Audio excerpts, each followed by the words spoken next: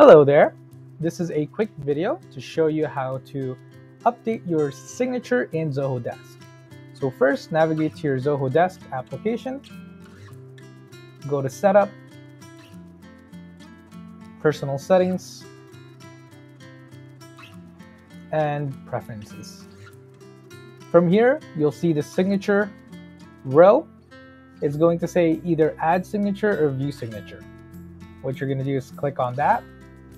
Going to press Insert, Edit HTML, select All, and paste your HTML code.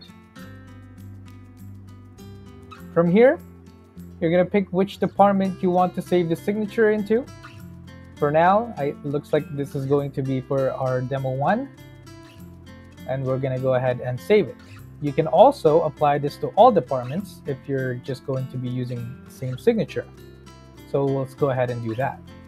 We're going to hit save, and we're also going to hit save. From here, make sure that your signature is turned on, so it's going to be included in all of your ticket replies. You can go ahead and view the signature, and as you can see, it was applied. One thing to note, that the signatures that you apply within your account will not be reflected in other users' accounts, even though you say that you apply this to all the departments.